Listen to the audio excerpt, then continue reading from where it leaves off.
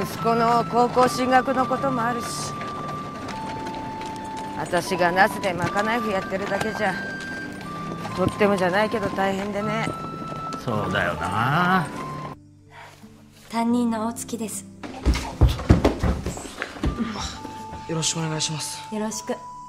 うちのクラスはちょっと元気よすぎるけどみんないい子ばっかりだしすぐに仲良くなれると思う。エレキシーじゃねやめてください河合くん大丈夫？倉田先生こそ農家をバカにしたのは秋元たちに謝るべきなんだ。こうやるんだかかれ！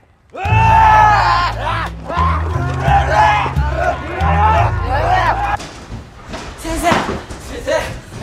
おいおい君たち。みんな教室戻りなさい！先生他の学校へ行くって本当なんですか？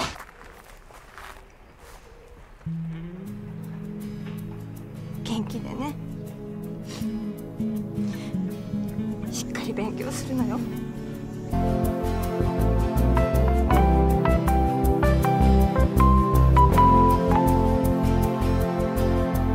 その日を最後に大月先生と会うことはなか